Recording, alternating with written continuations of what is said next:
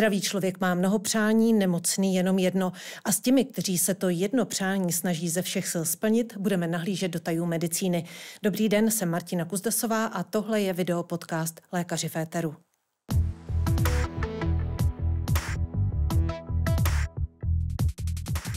A moje pozvání přijala neonatoložka Milena Dokoupilová. Díky za to. Dobrý den. Paní doktorko, vy jste eh, v roce 2011 dostala nabídku vybudovat vlastní oddělení v nemocnici Hořovice.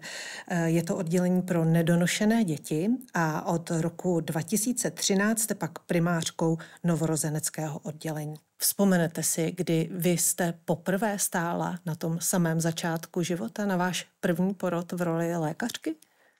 A úplně asi na první poroci nespomenu, ale ten začátek byl 1. listopadu 1993, kdy jsem nastoupila vlastně na novorozenecké oddělení u Apolináře.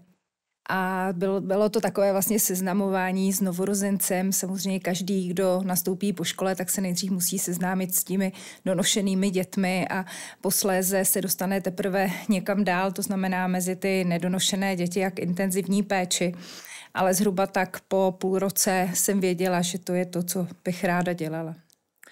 I porody a vše kolem nich určitě podléhá jakýmsi trendům.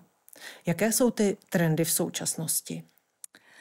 Já jsem neonatolog, takže spíš se věnuji tomu, co se děje po tom porodu, než jako přímo těm porodům jako takovým. A samozřejmě ty trendy jsou v každém tom desetiletí se něco jako objeví. Tím, že jsem začínala v 90. letech, tak jsem zažila vlastně to porodnictví, kdy žena přicházela do porodnice, porodila dítě, nemě, nebyly návštěvy, musela to všechno zvládnout sama. Já sama jsem v těchto letech rodila, takže mám živou vzpomínku. A vlastně až v tom novém tisíciletí přicházely ty nové trendy, jednak s otevřením sociálních sítí a možnosti přístupu do zahraničí. A vlastně ty maminky se postupně stávaly, nebo rodičky se postupně stávaly vlastně našimi, našimi partnery. To znamená v diskuzích, co se dít bude, co se dít nebude. A vlastně vyslovovali svá přání, která ze začátku jsme možná s trošku obtížemi uh, přijímali, protože vlastně nám zasahovali do těch medicínských dle nás věcí, ale vlastně uh, myslím, že v dnešní době už jsme všichni jako pochopili, že ta diskuze musí být, protože uh, porod je fyziologická záležitost a i historicky ženy rodily z přítomnosti porodní báby a jak často si ženy přinášejí v současnosti ty porodní plány, vlastně ta přání, jak chtějí, aby porod a následná hmm. péče probíhal? Je to už běžné? Je to běžné určitě. Myslím si, že je to i vlastně moderní, že spousta žen, které ho nemají vypracovaný nebo od někač skopírovaný se až staví do takové role, jestli má všechno jako v pořádku.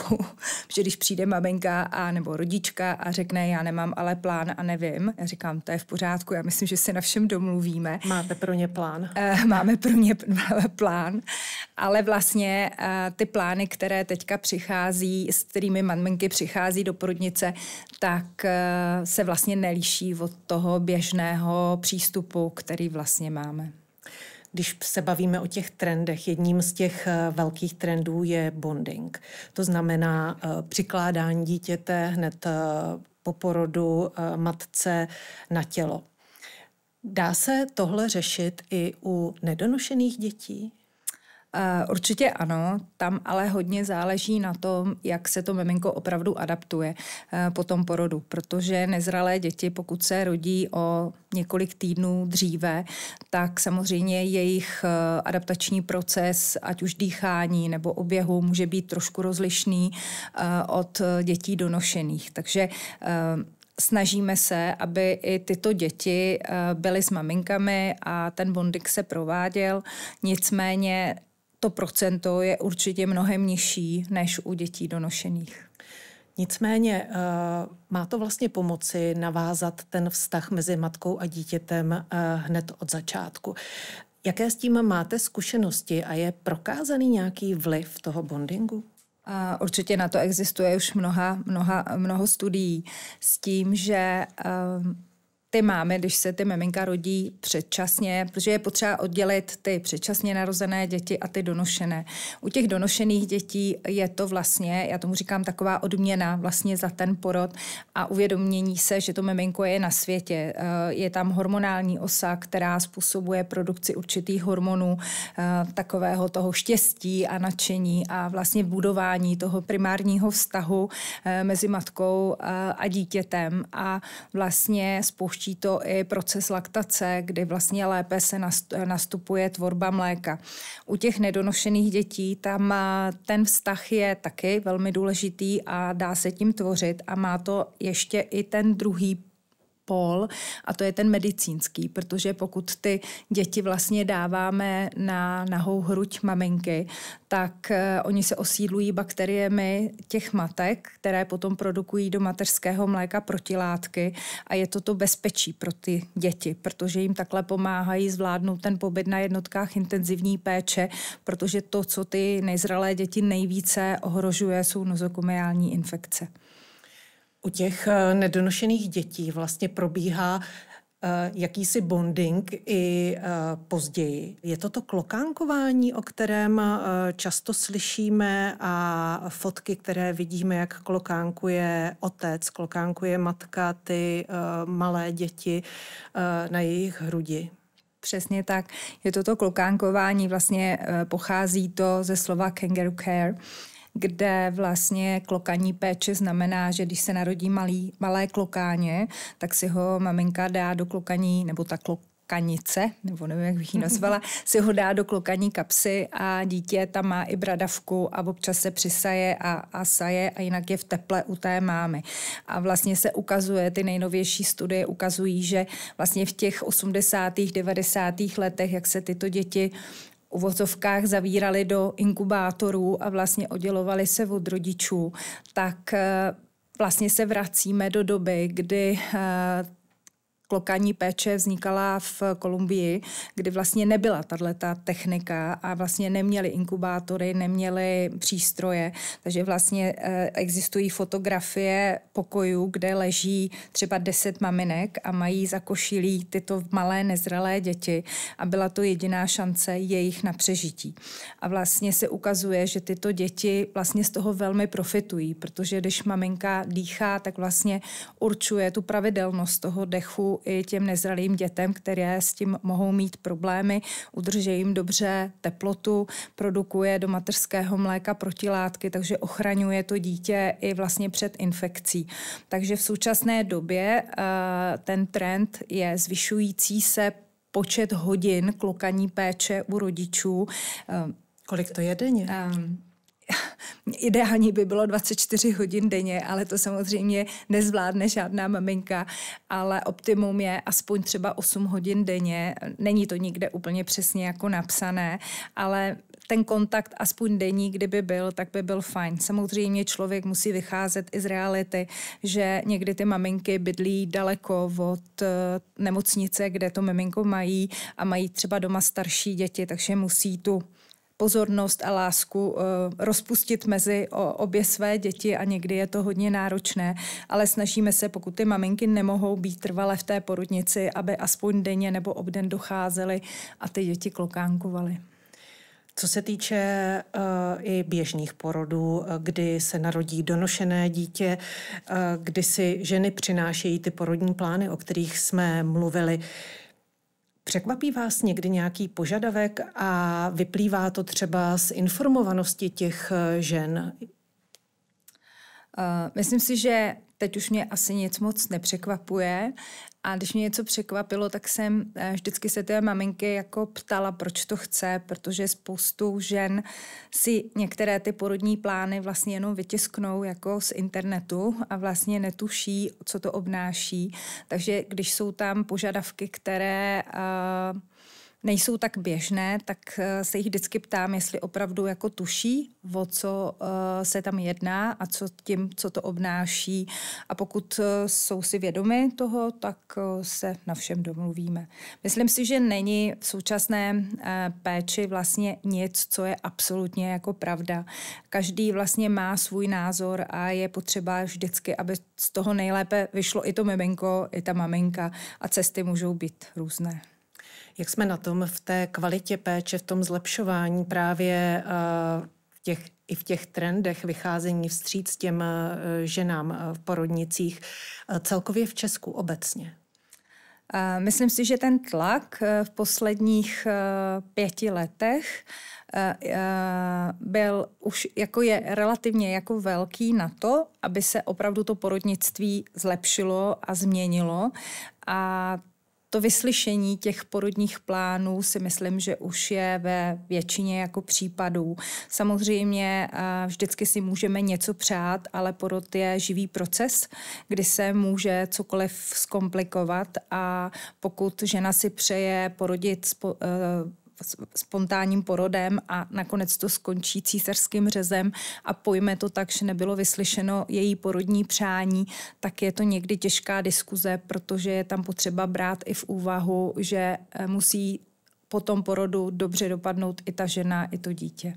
Jak vlastně vypadá uh, porod a péče po porodu u vás v Hořovicích? My se snažíme komunikovat s tou maminkou, budu teďka hovořit jenom za tu novorozeneckou část, e, nějak komunikovat ještě před porodem, jestli má nějakou představu, jak ona by to chtěla a, na, a říkáme jim, co tak asi bude probíhat, když to všechno bude eh, adekvátně probíhat po porodu, adaptace a stav miminka.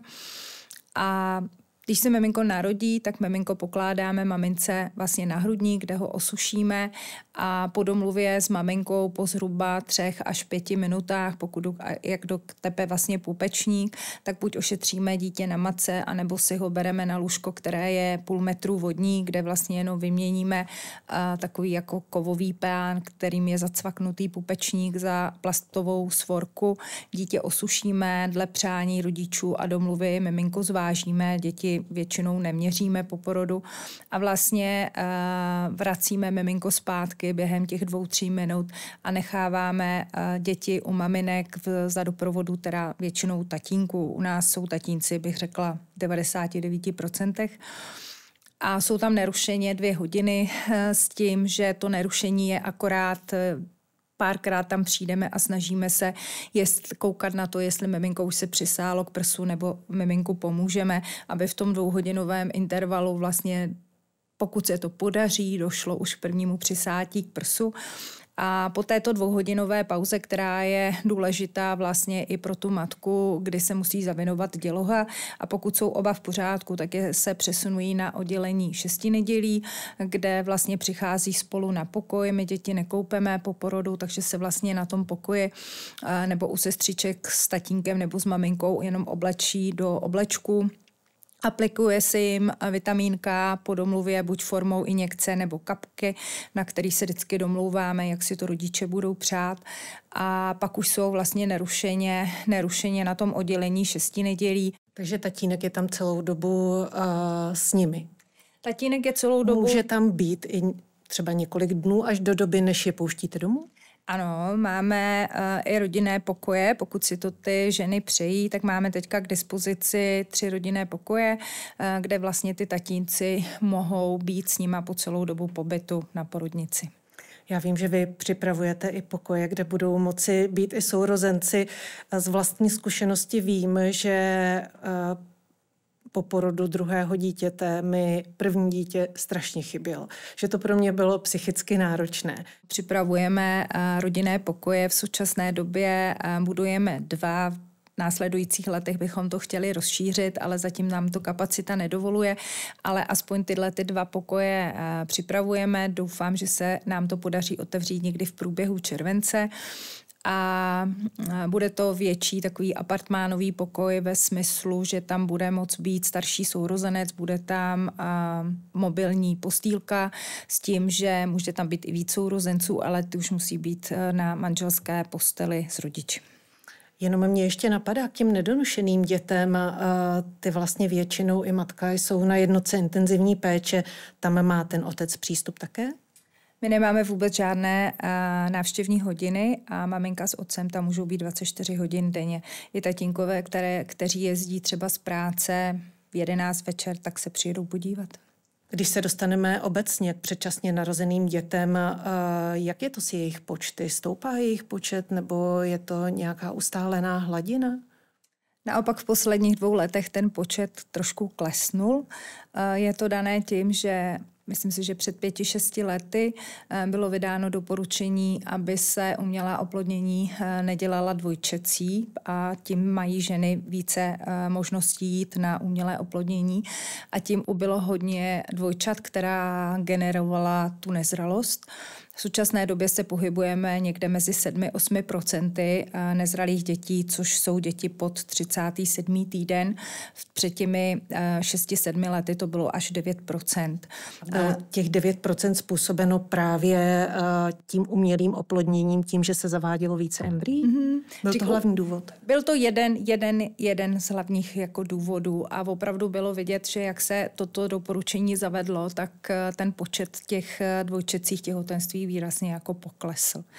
A v současné době se také obecně rodí méně dětí, ta natalita klesá, vychází to vlastně z 90. let, kdy vlastně po revoluci se výrazně snížil počet, počet porodů a to jsou teďka ty třicátnice, protože průměrný věk prvorodičky v současné době je skoro 30 let a Následuje vlastně další pokles po těch 30 letech a plus i samozřejmě socioekonomická situace, která přišla a odhaduje se, že vlastně z těch 110-115 tisíc, které byly ještě před čtyřmi lety, bude v letošním roce někde mezi 85 a 80 tisíci živě narozených dětí. Jak se pohybuje ta hranice uh, přežívání vlastně těch nedonošených dětí? To už se bavíme o těch uh, opravdu uh, malinkých. U nás, u nás je stanovena, uh, tuším, na 24. týden těhotenství. V Japonsku jsem četla, jestli to tak opravdu je, na 22. týden. Posouvá se ta hranice pořád? Uh, už asi není kam to posunout. Hmm. Už to není kam posunout. I v České republice existuje, eh, nebo jsou děti, které se narodily ve 22. týdnu a byla jim poskytovaná péče. Uh, je to o domluvě s rodiči, protože já vždycky říkám, uh, kdo tenhle problém nezažil, tak to nikdy asi nepochopí, protože nezralost je samozřejmě velké riziko, ale pokud je maminka, která nemůže mít děti a je to její jediná šance, byť ve velmi nízkém týdnu, tak eh, samozřejmě je to na diskuzi s rodiči o tom, že ta péče se dá jako zahájit a že se uvidí, jak to miminko to bude, bude všechno zvládat. A i v České republice samozřejmě eh, legislativa nám určuje, že musíme poskytnout poskytnout péči dítěti od 24. týdne, ale můžeme i níže, ale eh, je to vlastně taková ta šedá, se šedá zóna, kdy vlastně je to na domluvě s rodiči, jak oni si to také přejí. Jaké jsou prognózy uh, takových dětí?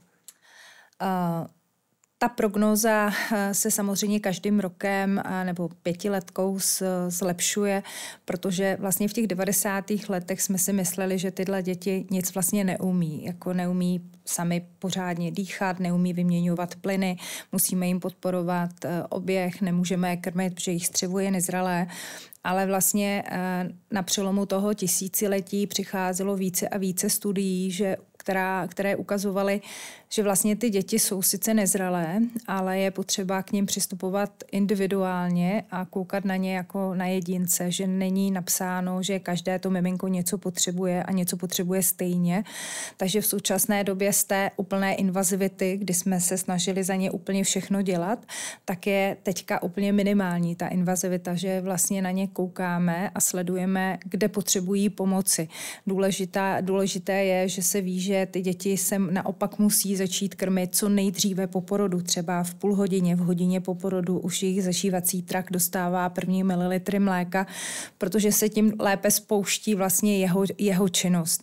A ta prognóza těch úplně nejmenších dětí je hodně jako variabilní, ale uh, asi 20% těchto dětí může zemřít hned v těch prvních dnech života, protože vůbec vlastně nezvládnou tu, tu adaptaci po tom porodu a potom určité zhruba 30 až 50% dětí, které přežijí, mohou mít uh, různé komplikace, které si potom odnáší, odnáší do života. Po jaké době vy jste schopni říct, uh, jak na tomto dítě bude? Po dlouhé. je to dlouhá doba, ten psycho, eh, důležitý je vlastně psychomotorický vývoj, který vlastně je i u donošených dětí v průběhu toho prvního roku života. Takže i když děti od nás vlastně odchází, tak vypadají v podstatě jako zdravé děti, protože vlastně jenom přijímají potravu a mají základní pohybové mechanismy, ale vlastně ten vývoj začíná až v průběhu toho prvního roku života a až tam můžeme říct, že to všechno dobře dopadne. A pak je ještě druhá druhá stránka věci, která se teďka ukazuje, že ty nezralé děti eh, tím, jak se narodili dříve, mohou mít nějaké psychologické nebo psychiatrické potíže eh, v tom pozdějším věku, školním, předškolním. Takže teď probíhá velká studie eh, celosvětově, kdy se tyhle děti jako sledují, jak opravdu na tom jsou, protože jsou to ty krátké výhledy, to znamená, jestli to miminko se naučí správně dělat některé věci a bude chodit a mluvit. A pak jsou to ty uh, funkce, jak bude jako fungovat psychicky, psychologicky, uh, jak bude zvládat zátěž, stresové situace a jestli bude u nich jako rozdíl oproti uh, dětem, které jsou donošené. Závěrečná otázka. Když se narodí donošené dítě během tří, pěti dnů odchází z porodnice, nicméně nedonošené dítě tam můžete mít i měsíce. Jak je to pak eh, s vytvářením eh, nějakého vztahu? Sledujete pak ty děti eh, dál? Uh, určitě ano, všechny tyhle děti je potřeba sledovat, protože potřebují... Myslím uh, i z vlastního zájmu. Určitě, určitě, určitě i z vlastního zájmu, že mám plný telefon těchto maminek a uh, potřebují rady dlouhodobě, ale uh, ten pobyt na ty jednotce intenzivní péče, ten vztah hrozně zintenzivní a naopak někdy je až hyperprotektivní a musíme ty maminky malinko brzdit, aby těm dětem dali i jako volnost, jako nějakýho projevu, protože se o ně uh, hrozně dlouhou dobu hrozně bojí. Neonatoložka Milena Dokoupilová, díky, že jste se mnou byla v éteru. Děkuji za pozvání. Takový byl další díl video podcastu Lékaři v éteru. Sledovat nás můžete v televizi, na webu CNN Prima News a poslouchat ve všech podcastových aplikacích. Mějte hezký den.